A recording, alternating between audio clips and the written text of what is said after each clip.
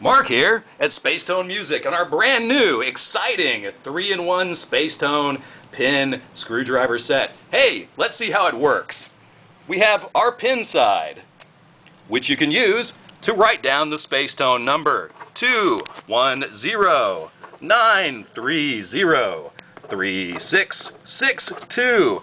Works perfectly. Well, let's see what the screwdriver side does. It's got not just one, but two handy bits. In this case, we're going to use the Phillips bit. Let's say we have a fabulous RC booster from Xotic Effects. Battery's dead. What do we do?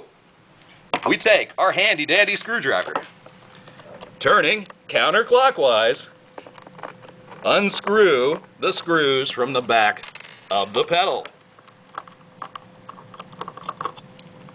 And voila! We've now exposed the battery compartment for changing. But that's not all.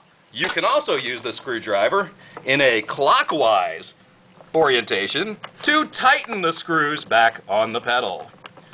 Hey, let's see how the flathead side works. Let's say you have a guitar you need adjusting. Take the flathead very carefully, insert, and adjust the bridge saddles as necessary.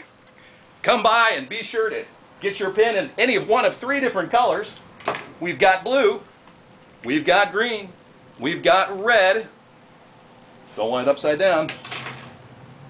Come by and get your Spacetone 3-in-1 screwdriver pin set. We're looking forward to seeing you.